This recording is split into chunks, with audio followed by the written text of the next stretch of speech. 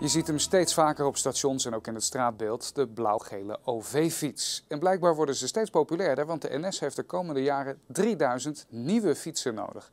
Maar welke moet het dan worden? Vandaag en morgen mag u in Utrecht meebeslissen, want daar worden ze getest. Hebben zes verschillende OV-fietsen die getest kunnen worden. Op het eerste ogenblik zien ze, op het eerste moment zien ze een beetje hetzelfde uit, maar ze fietsen allemaal anders. De een is wat soepeler, de andere die is wat lichter, het stuur is anders, het slot is anders, de lamp is anders. Er zit er eentje bij met versnellingen. Dus uh, ja, allemaal verschillende fietsen.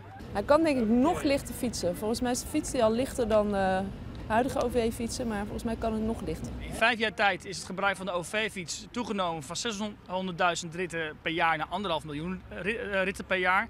En we verwachten jaarlijks nu een groei van ongeveer 200.000 ritten. Waarom is het zo populair, zo'n fiets? Nou, mensen die komen aan op het station, maar hebben zelden het station als eindbestemming. Dus die moeten nog verder reizen. Uh, ja, dan kun je kiezen voor de bus of de tram. Uh, maar ja, mensen vinden het ook fijn om in een andere stad dan op een fiets te zitten. En gewoon in hun eigen tempo, in hun eigen tijd, dan naar bestemming te fietsen. En daar is de uh, OV-fiets heel geschikt voor. Even met je overchipkaart inchecken en je hebt een fiets. Welk rapportcijfer geef je aan deze fiets? Nou, volgens mij is het wel een 8. Een 8? Nou, ja. dat is prima. Ja. Dankjewel. Alsjeblieft.